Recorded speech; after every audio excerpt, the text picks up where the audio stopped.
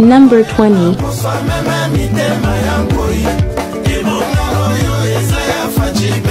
manda oyo élection oyo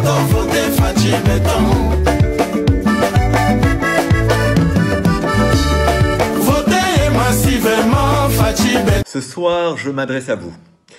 Vous qui subissez euh, un régime dictatorial, vous qui vivez sous le joug du- d'un oppresseur et qui en avez assez de toutes ces répréhensions, alors j'ai la solution pour vous. La solution, c'est c'est celle-ci.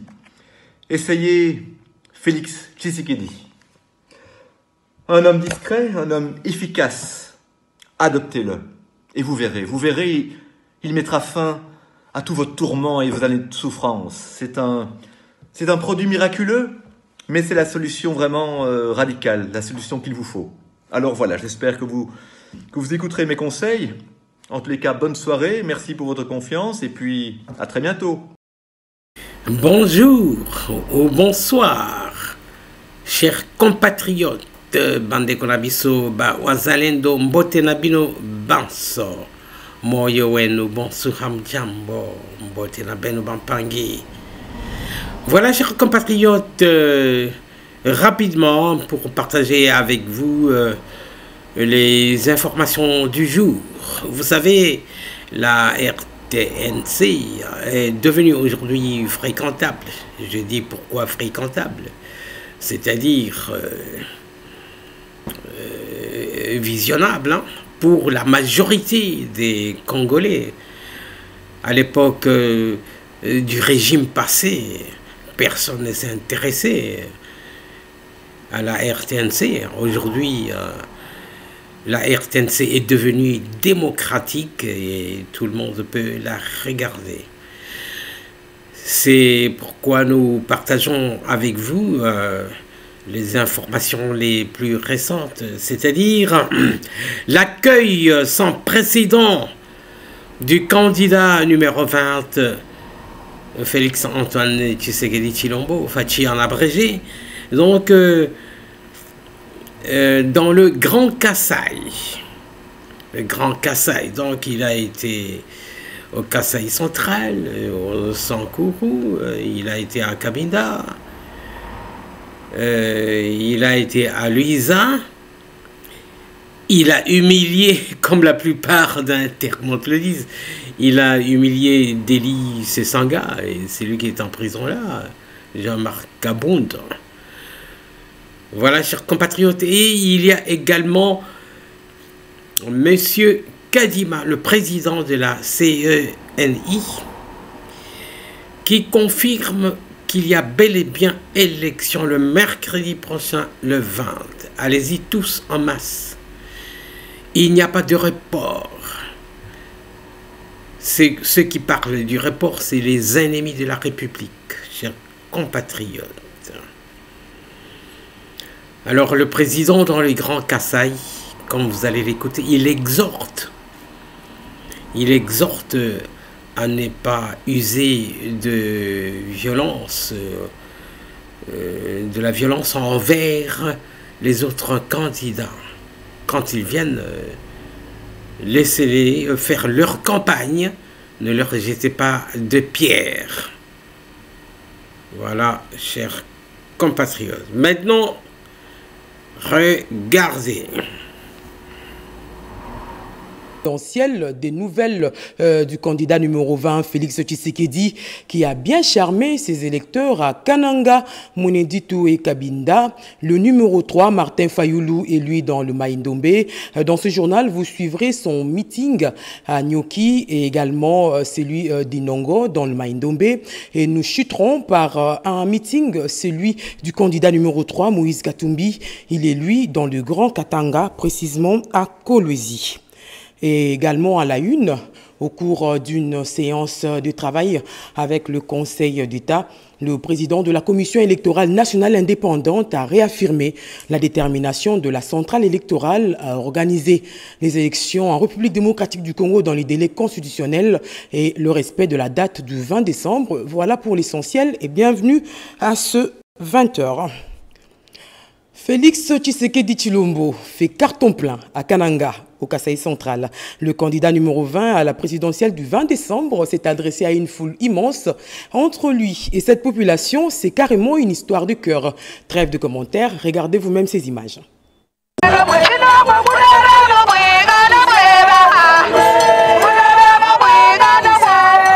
Kasaï central, 21e province à être visitée par le couple présidentiel en campagne électorale. Une mobilisation de masse a coupé les souffles. Une foule immense a réservé un accueil chaleureux au candidat président numéro 20, Félix-Antoine Tshisekedi Chilombo, accompagné de son épouse, Denise Nyakeru Tshisekedi, première dame de la République. De l'aéroport national de Kananga jusqu'au lieu du meeting, le ticket de l'Union sacrée a mis 45 minutes, tellement qu'il y avait du monde en l'IS sur le parcours.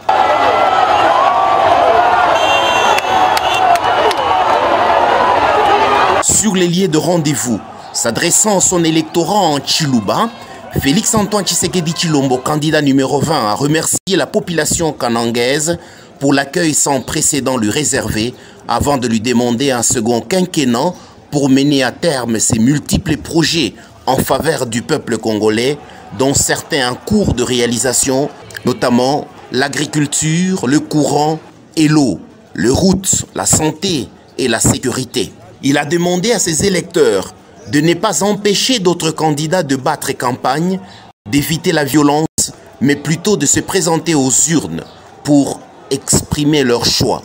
À son arrivée à 18h, heure locale, le couple présidentiel était accueilli au pied de l'avion par les autorités politico-administratives, le chef coutumier, la société civile et les membres de l'Union sacrée. Une autre mobilisation sans précédent du candidat numéro 20, c'est dans la province de Lomami. Sans hésiter, ces Congolais accordent déjà un second mandat à Félix Tshisekedi. Jacques Mégier, reportage. Les villes de Kabinda et celles de Mweneditu dans la province de Lomami ont vibré au rythme de la campagne électorale. À Kabinda, chef-lieu de la province de Lomami, c'est à 13h30 minutes que le président de la République démocratique du Congo, candidat numéro 20, est arrivé par hélicoptère au stade de Kamukungu dans la commune de Kabuela-Buela. À ses côtés, la première dame, Denise Nyakeru Tshisekedi. Félix-Antoine Tshisekedi Chilombo reçoit un pigeon blanc et un bouquet de fleurs, symbole de paix et d'amour. Il salue les officiels, le grand chef coutumier Songé, qui les rassure de sa réélection. De là, le fils biologique d'Étienne Tshisekedi Wamulumba fait le pied jusqu'au gouvernorat pour son adresse. À quelques kilomètres de Kabinda, dans la ville ferroviaire de Mweneditu, un autre meeting Félix-Antoine Tshisekedi Chilombo, candidat président numéro 20, fonce. Une foule compacte bravant la fatigue de deux jours d'attente, scande, danse et pousse de cris d'allégresse à l'arrivée de son choix à la magistrature suprême et effervescence au zénith. Le président de la République et candidat à sa propre succession fait les pieds jusqu'à la tribune d'honneur érigée pour la circonstance à l'hôtel de ville des Mweneditu que ce soit à Kabinda, chef-lieu de la province de Lomami, et à Mweneditu. Félix-Antoine Tshisekedi Chilombo axe son message principalement sur ses réalisations et le besoin de la population qui reste à combler, la santé, infrastructures sous toutes les facettes, l'agriculture, l'emploi des jeunes, la sécurité et l'armée, l'économie aussi. L'approche d'échange est participative pour Félix-Antoine Tshisekedi Chilombo. Beaucoup de travaux sont exécutés, d'autres sont en cours, d'autres encore restent à faire, d'où la nécessité d'un deuxième quinquennat. Et toujours dans ce même registre, retenez que le candidat numéro 21 est quant à lui à l'étape du Maïdombe. Il a engagé dans les cités de Nyoki et d'Inongo. Martin Fayoulou a demandé à cette population de lui accorder son vote. Fifi Mukundi. Il est déterminé à atteindre le maximum de lecteurs favorables. Martin Fayoulou-Madidi, le candidat numéro 21 à la présidentielle du 20 décembre, a échangé avec la population de Nyoki. Dans cette entité de la province du Maïndombe, le candidat président s'est montré très attentif aux revendications et aux attentes de nos compatriotes de cette partie de Maïndombe. Au dire des intervenants, Nyoki fait face aux nombreux problèmes liés au développement. Sans les citer tous, il s'agit principalement du manque de routes, d'électricité et des infrastructures de base. misala eza te mboka kitoko me misala eza te mbai ezali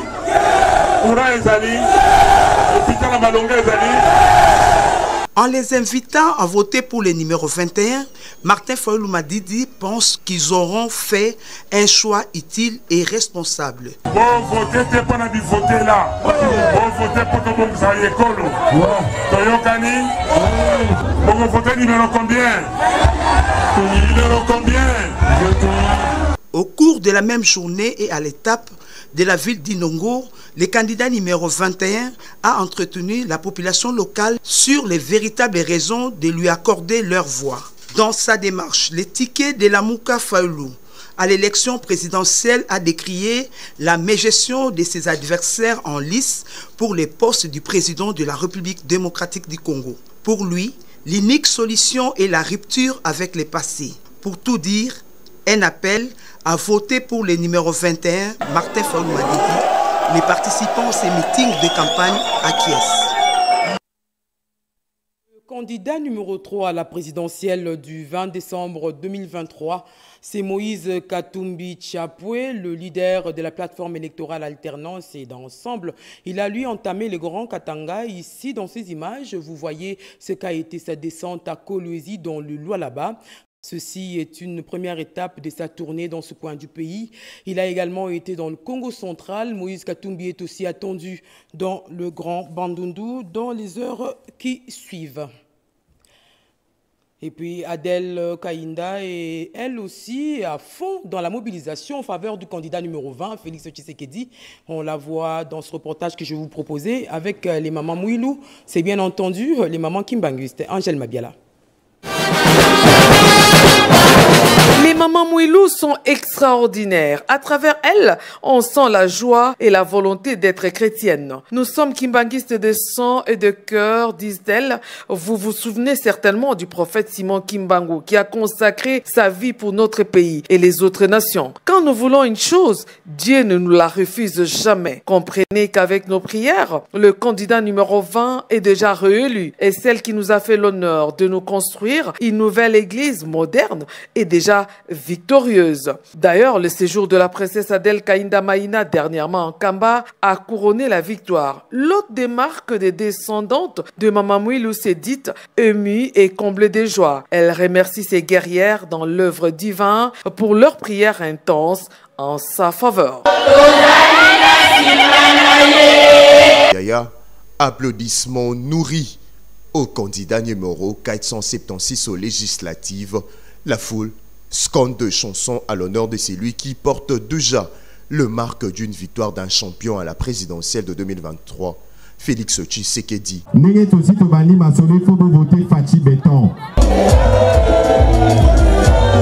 J'ai accompagné pendant une semaine le président de la République dans sa tournée électorale. C'était une folie inimaginable. Et ici à Kinshasa, il fallait continuer puisqu'il faut préparer les terrains de l'arrivée du président pour la fin de la campagne. J'ai rappelé, le mot de passe, c'est 20, c'est 476, c'est 41 pour Bandal. Ministre de la parole aussi de l'écoute après ces meetings, place à présent à une politique de porte-à-porte.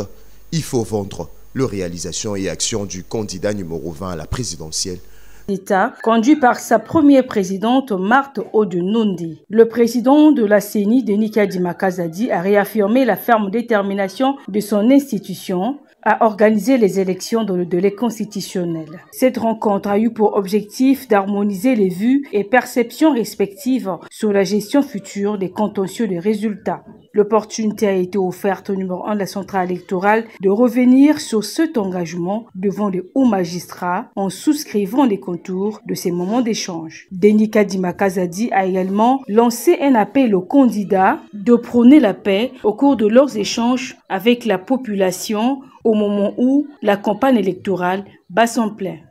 À exactement six jours de la tenue des scrutins combinés du président de la République, des députés nationaux et provinciaux, ainsi que des conseils communaux, je suis honoré de participer à des échanges en vue d'harmoniser les vues et perceptions respectives sur la gestion future des contentieux des résultats en rapport avec les scrutins provinciaux et locaux. Voilà pourquoi la CENI et le Conseil d'État ont convenu d'organiser le présent cadre de concertation afin de dégager un entendement commun sur les dispositions légales et réglementaires applicables dans ces contentieux des résultats. Pour sa part, la première présidente du Conseil d'État, Marthe Odonondi, a relevé que le présent atelier regroupant les experts de la CENI et les hauts magistrats du Conseil d'État vient à point nommé dans la mesure où il permet aux participants d'échanger sur certaines dispositions de la loi électorale. Auparavant, le premier vice-président de la CENI, bienvenu Ilanga Lembo, a souligné l'importance du pouvoir judiciaire, surtout en matière des contentieux. D'autant que, a-t-il noté, la CENI va proclamer les résultats provisoires à l'issue des scrutins et ceux qui seront pris en charge par les acteurs de l'appareil judiciaire avant qu'ils ne deviennent définitifs. C'est ensemble durant toute la journée que les experts de la CENI et du Conseil d'État vont devoir échanger sur différents thèmes liés à ces opérations et aux procédures à observer.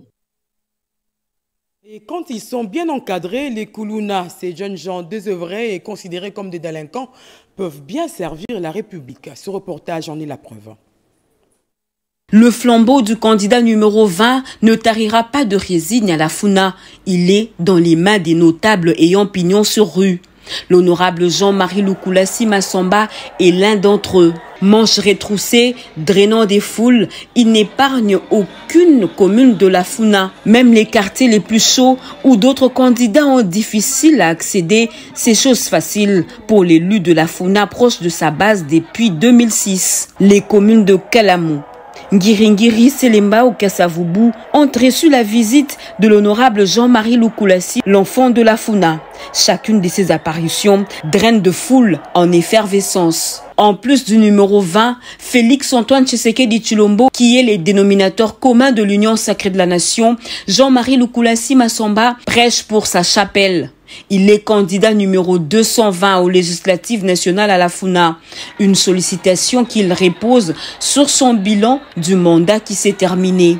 En digne représentant de filles et fils de la FUNA, Jean-Marie Lukulasi Massamba n'a aucun répit dans la lutte contre le banditisme urbain, l'oisiveté juvénile et féminine, la précarité sanitaire, la prise en charge holistique de Kuluna, précurseur de la mise en œuvre de la couverture santé universelle, président de la commission qui a mis à nu le détournement dans le projet 100 jours et véritable. Décembre 2023, en présence de gouverneur de la ville-province de Kinshasa, qui a accueilli avec beaucoup d'enthousiasme cette activité. Nos autres qui sont arrivés, ils sont les bienvenus. Sinon, je suis très satisfait de cette organisation. Il s'agit du, du comité régional de renforcement institutionnel organisé par la Cour des comptes. J'avoue que depuis l'arrivée du président de la République, le contrôle des finances a été accentué. La présidente en exercice de CRRI, qui a d'ailleurs ouvert les travaux officiellement, s'est confiée. Nous sommes ici pour veiller à la professionnalisation de nos ISC à ce que nos ISC euh, peuvent être à la hauteur de ce qui est attendu d'eux. C'est pour ça que nous tenons ces réunions une fois par an. Jimmy Munganga premier président de la Cour des comptes de la République démocratique du Congo et hôte de la dite cérémonie, n'a pas tari d'éloge envers le magistrat suprême de la République, Félix-Antoine Tshisekedi Chilombo. Je voudrais d'abord relever ici que, que, la Cour des comptes est honorée, n'est-ce pas, par la tenue de cette réunion. Honorée parce que ce qui se passe en ce moment correspond en fait à la vision du chef de l'État qui consiste à ouvrir notre pays au monde. Parce que nous avons accueilli ici plusieurs pays, n'est-ce pas, de l'Afrique. Le secrétaire permanent du Conseil supérieur de la magistrature vient de réceptionner des clés USB euh, pour les magistrats nouvellement nommés, une action des partenaires qui soutiennent le secteur de la justice en République démocratique du Congo. Edith Chala. 2300 clés USB pour les 2300 magistrats nouvellement formés afin que les matières apprises y soient stockées. Le secrétaire permanent du Conseil supérieur de la magistrature, Telesfor Ndouba-Kilima, qui réceptionne le colis, s'en félicite et voit dans cet acte la volonté des partenaires d'accompagner son service dans la lutte contre les différents maux qui rongent les secteurs. Cette cérémonie devait avoir lieu le jour de la, de clôture de la formation. Je vous rassure que ces clés vont arriver aux destinataires, aux magistrats. Lorsqu'ils viendront pour la notification, on va les notifier avec euh, la clé.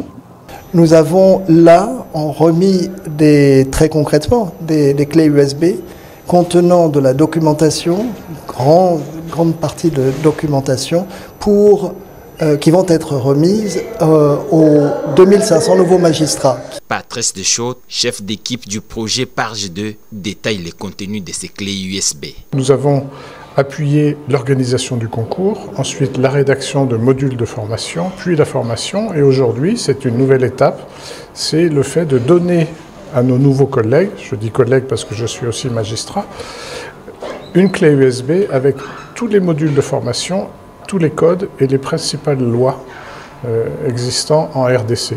C'est un élément du processus conduisant au redressement de la justice et son administration, comme le veut le chef de l'État, un véritable État de droit au centre de l'Afrique. Et puis le rendez-vous des décideurs sur le climat bien vécu à Dubaï aux Émirats arabes unis, euh, la République démocratique du Congo qui est un des éléments essentiels de la lutte contre le réchauffement climatique n'est pas rentré bredouille de cette rencontre. Je parle de la COP 28. Incroyable mais prévisible, car l'homme des réalisations concrètes n'oublie aucune occasion qui se présente devant lui pour booster son secteur très important dans le cadre du développement durable. Dans le cadre du Fonds forestier national, le directeur général, Honoré Moulumba Kalala, a pris langue avec la famille royale de Dubaï de l'entreprise OCAB pour voir dans quelle mesure appliquer une digitalisation moderne qui permettra de contrôler tous les sites exploités par les entreprises minières, pétrolières et autres cimenteries mais aussi suivre de près les taxes payées par les partenaires extérieurs de manière qu'elles soient conformes. Du nous sommes en train de parler avec les partenaires sur la manière dont on peut contrôler euh, tout ce qui se passe en termes de taxes. Toutes ces entreprises que vous connaissez, chinoises, égyptiennes, libanaises, américaines, belges, françaises, euh, pour ne pas les citer, qui exploitent, n'est-ce pas, nos terres, nos minéraux, tous ces endroits. Soulignant que le directeur général du FFN vise la mobilisation de recettes qui est la vision chère du chef de l'État actuellement et se bat pour que cette mobilisation devienne une réalité et rassure qu'après les élections du 20 décembre prochain, une réforme sera faite en commun accord avec la dite entreprise pour non seulement maximiser les recettes, mais surtout diminuer les fraudes, pourquoi pas les éradiquer. Et à l'université de Lubumbashi, c'est déjà la rentrée académique 2023-2024 et également le traditionnel accueil de nouveaux étudiants. Images et commentaires. La traditionnelle journée d'accueil et d'intégration des nouveaux étudiants a vécu ce mardi 12 décembre dans l'amphithéâtre Calaba. Tout commence par la procession des professeurs en touge. Puis les nouveaux Kassapards scandent pour la première fois la Kassaparde. Ensuite, les étudiants prennent connaissance de l'organisation de leur alma mater. Les membres du comité de gestion, les doyens des facultés directeurs d'école sont présentés par le recteur. Les responsables des services qui ont en charge notamment les inscriptions, les services académiques, le logement, le centre de santé et le transport vont défiler pour faire part de leur essor. Le recteur de l'université de Lubumbashi, le professeur Gilbert Kishiba Fitula, a dans son speech invité le nouveau Kassapar à la participation, la responsabilité, le travail, la détermination et la tolérance. Qu'est-ce que l'université de Lubumbashi a mis à votre disposition? Nous avons apprêté pour vous un monde ouvert, fondé sur euh, l'égalité des chances. Nous avons apprêté un espace d'amitié, de fraternité. Nous avons donc apprêté un champ où vous devez cultiver des valeurs, où vous allez planter la mise en commun de vos atouts personnels. Les témoignages des anciens et nouveaux étudiants sur le pourquoi Unilou ont ponctué cet accueil des plus chaleureux. Quand on arrive à l'université, on pense qu'on a euh, une certaine liberté, une euh, certaine autonomie, ce qui n'est pas faux. Mais euh, ce que j'aimerais dire aujourd'hui à vous tous qui décidez de vous inscrire à l'UNILU, c'est que vous êtes libre. Libre de réussir, libre d'échouer. Enfin, j'éprouve une affection toute particulière pour l'UNILU parce qu'elle incarne l'excellence et je vise moi-même l'excellence. Euh, je viens du Cameroun, je suis étudiant étranger. Avec UNILU, j'ai beaucoup appris. Donc je demande à tous ceux qui sont étudiants étrangers de se sentir chez soi. Et un grand meeting annoncé pour demain samedi au stade Tata Raphaël à Kinshasa, une organisation de l'Alliance des élites au service du peuple. Je suis euh, Jean-David Ngazi Kowozida, acteur politique, candidat député national. Le numéro est 477. Aujourd'hui, si je me présente devant vous pour vous annoncer une grande manifestation qui se tiendra demain à la capitale Kinshasa. L'événement est organisé par l'Alliance des élites au service du peuple et alliés, l'ASPA en sigle, qui se tiendra au stade Tata Raphaël demain à partir des 10 heures. Pourquoi le but de cette grande manifestation est tout simplement pour présenter notre candidat président de la République. Il s'agit, je parle du président Félix Antoine Tshisekedi Chilombo, que nous élevons, que nous voulons présenter aux yeux de toute la population de la République démocratique du Congo et aux yeux du monde entier que c'est notre candidat, sur qui nous portons notre choix comme candidat président de la République, et également à qui nous voulons donner une majorité parlementaire écrasante. Donc demain, c'est un grand rendez-vous. La population de la, capitale Kinshasa, nous vous invitons à venir massivement assister à cet grand événement. La, la disposition a été prise, c'est-à-dire il y a le moyen de transport qui seront mis en disposition de la population de Kinshasa à travers toute la capitale. Nous parlons de plus de 200 bus Transco qui seront là et vous le reconnaîtrez par la mention euh, de bâche euh, à caractère euh, qui vont annoncer que les bus sont des bus qui vont au stade Tata Raphaël et ces bus vont vous prendre en aller comme au retour pour que vous assistiez à cet événement.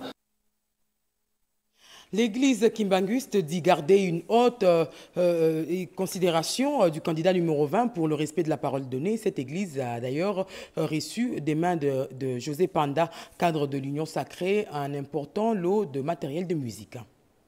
C'est devant plus de 20 centenaires kimbonguistes réunis en prière dimanche 10 décembre dernier que ce don d'instruments pimpant neuf a été remis à l'église du prophète Simon Kimbangu en Boujimaï par maître José Panda Kabangu. Ces instruments de fanfare sont constitués notamment de deux saxophones, un bombardon, quatre tubas, quatre barytons, quatre altos, six trombones à la police, cinq trompettes, cinq bigles, deux grandes caisses, deux tambours, une paire de cymbales et autres. Pour le donateur, c'est une dette qu'il paye, un engagement qu'il avait pris. Ce n'est pas la première fois que je foule le sol de la Terre Sainte. J'étais dans la suite du président de la République chez le père spirituel à Kamba et le père spirituel avait confirmé en disant au président Félix Tshisekedi, vous êtes déjà président de la République. Je viens vous exhorter ici, c'est notre terre sainte. Tout Kimbangiste, là où il est, doit donner sa voix à Félix Tshisekedi. En le faisant, il respecte l'appel du Père spirituel. Moi aussi, je viens à vous pour vous demander de me donner vos voix. D'après Major Kankonde, un des fidèles kimbonguistes, c'est depuis 1995 que dans l'église, on n'a jamais atteint plus de 30 instruments réunis à la fois pour sa fanfare. Plus de 130 églises de réveil ont reçu chacune une dizaine de chaises et d'autres présents. D'autres églises comme Hébron ont eu un peu plus. Le lycée Mwanjadi, où cahiers et journaux de classe à l'effigie du président Tshisekedi, ainsi que de machines à coudre ont été remis. Les épouses de militaires et policiers et bien d'autres communautés sont les bénéficiaires de bienfaisance de Maître José Panda Kabangu, candidat numéro 44 aux législatives nationales et 66 aux provinciales. Le la République a signé quelques ordonnances, mais avant de vous en livrer le contenu, nous allons boucler ce journal dans le Katanga. Euh, Le gouverneur Jacques Kaboula ratisse large en faveur de Félix Tshisekedi, également une campagne de proximité et aussi de masse. À n'en point douter, pas à pas, Jacques Kaboula Katoué poursuit sa marche triomphale vers sa réélection à la double députation, comme ce fut le cas en 2018. Le candidat député national 585 et provincial 882 dans la circonscription électorale de Lubumbashi et dans les bonnes grâces des électeurs et une communion parfaite s'installe de plus en plus. Jacques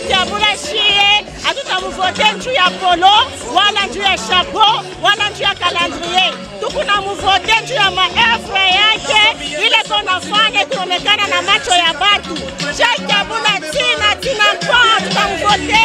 Comme à chacun de ces rassemblements depuis le début de la campagne électorale, ce lundi 11 décembre 2023, avec sa base électorale de trois communes, Katuba, Kamalondo et Lubumbashi, l'amphithéâtre Silver Palace est tellement rempli qu'il n'y a plus de place pour tout le monde.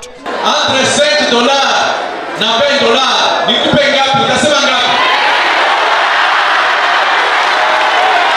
À sa prise de parole, Wandani, plusieurs fois interrompu par des cris et des chants de victoire, a appelé l'assistance à se rendre massivement le 20 décembre prochain dans les bureaux de vote pour que les acquis du pays et de la province du Haut-Katanga soient consolidés. Les Louchois interrogés sont formels sur le fait que le gouverneur Jacques Kaboula Katoué a, au cours de ces cinq dernières années, accompli une série de réalisations qui ont apporté des changements dans la vie de ses concitoyens et qui l'ont hissé au rang des rares gouverneurs de province dont la renommée traverse les frontières.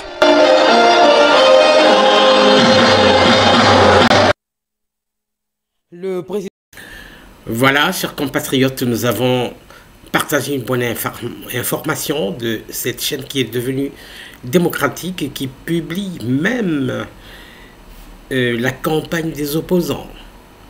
Voilà, chers compatriotes, nous nous arrêtons là-dessus et nous disons que Dieu bénisse la République démocratique du Congo.